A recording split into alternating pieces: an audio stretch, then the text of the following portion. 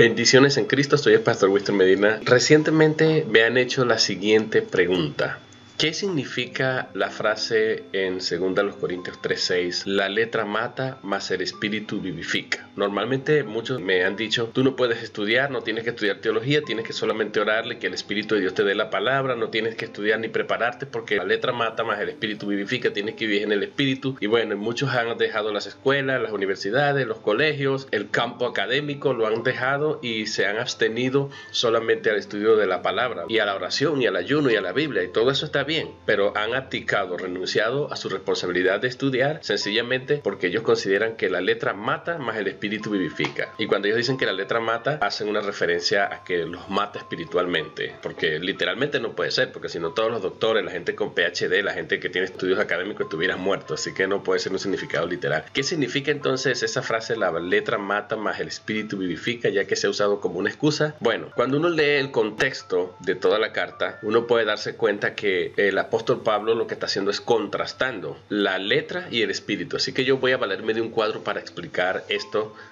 de una mejor manera. Vamos a contrastar entonces la letra versus el espíritu. La letra mata, más el espíritu vivifica. Cuando uno va al contexto, ¿qué quiere decir la letra? Uno puede darse cuenta que la letra se refiere al antiguo pacto. Lean el contexto. Más el espíritu se refiere al nuevo pacto. Uno puede leer en el contexto que Pablo se refiere a la letra como un ministerio de muerte, pero respecto al espíritu le llama el ministerio del espíritu. Pablo habla en el contexto del ministerio de condenación, refiriéndose a la letra, mientras que cuando se refiere al espíritu, él lo llama el ministerio de justificación.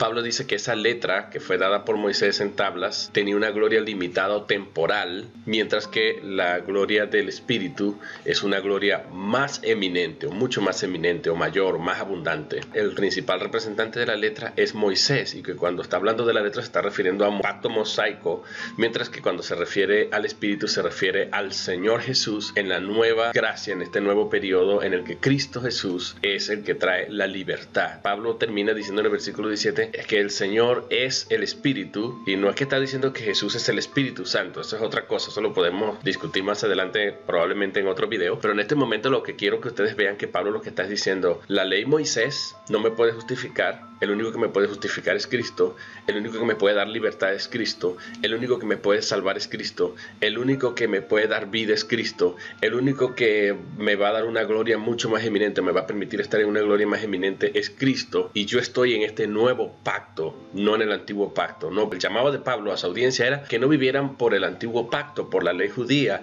porque ese pacto era un pacto de muerte, era un pacto de condenación, era un pacto que tenía una gloria limitada y temporal y además que el representante es Moisés y si seguían leyendo la ley, dejando de lado a Cristo, ellos no iban a poder ver, no iban a poder ser libres porque el mismo velo iba a estar presente para que ellos estuviesen como ciegos y no poder ver lo que Dios realmente quería decirles en la ley. Mientras que cuando nos convertimos al Señor y tenemos a Cristo, Cristo nos permite ver en el Antiguo Testamento, leer que todo el Antiguo Testamento da testimonio de Cristo y en Cristo hay la libertad para comprender las escrituras. De eso es que está hablando el apóstol Pablo en todo su contexto. Veamos esto en el texto mismo. Ustedes pueden buscar en sus Biblias. Esto se encuentra en 2 Corintios 3. Dice, ¿comenzaremos otra vez a recomendarnos a nosotros mismos o tenemos necesidad como algunos de cartas de recomendación para vosotros o recomendación de vosotros? Nuestras cartas sois vosotros escritas en nuestros corazones, conocidas y leídas por todos los hombres, siendo manifiestos que sois cartas de Cristo expedidas por nosotros, escritas no con tinta, sino con el Espíritu del Dios vivo, no en tablas de piedra, sino en tablas de carne del corazón. Tal confianza tenemos mediante Cristo para con Dios. No que seamos competentes por nosotros mismos para pensar algo como de nosotros mismos, sino que nuestra competencia proviene de Dios, el cual asimismo nos hizo ministros competentes de un nuevo pacto, no de la letra, sino del espíritu, porque la letra mata,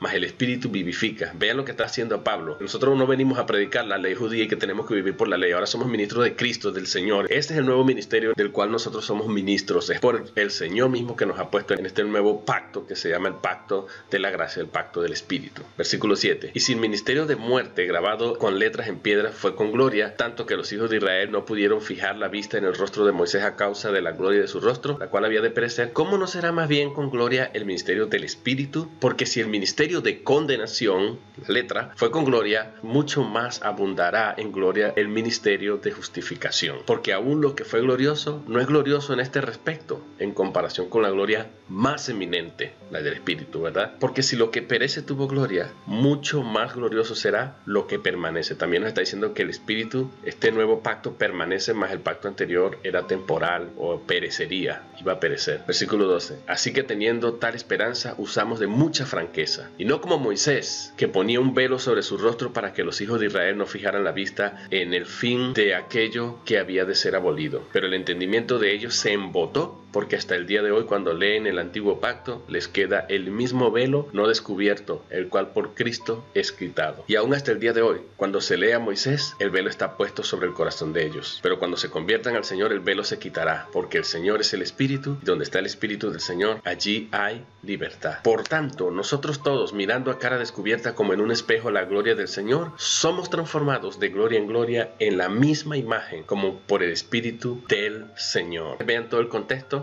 ahí les resalté todas las palabras. En conclusión, cuando hemos visto el contexto, la pregunta inicial, ¿qué significa la letra mata más el espíritu vivifica de 2 Corintios 3.6? Sencillamente lo que significa es que la letra que mata, a la que se refiere no es los estudios académicos, ni las clases teológicas, ni el seminario teológico, ni el instituto bíblico, ni el estudio diligente de la palabra de Dios, ni el estudio de los idiomas originales de la Biblia, no tiene nada que ver. La letra que mata es la ley judía, sellada en el pacto mosaico, pero Cristo es la libertad plena a ese antiguo pacto que condenaba que mataba y contenía una gloria limitada y temporal que vela y enseguece al que confía solamente en ella dejando de lado a Cristo. La ley no tiene el poder para salvarnos, ni tenía el poder para salvar a la audiencia de Pablo. Así que solo Cristo liberta, solo Cristo justifica y solo Cristo vivifica. Eso es lo que Pablo quiso decir cuando dijo, la letra mata, mas el espíritu vivifica. Bendiciones y espero haberles ayudado. Hasta luego.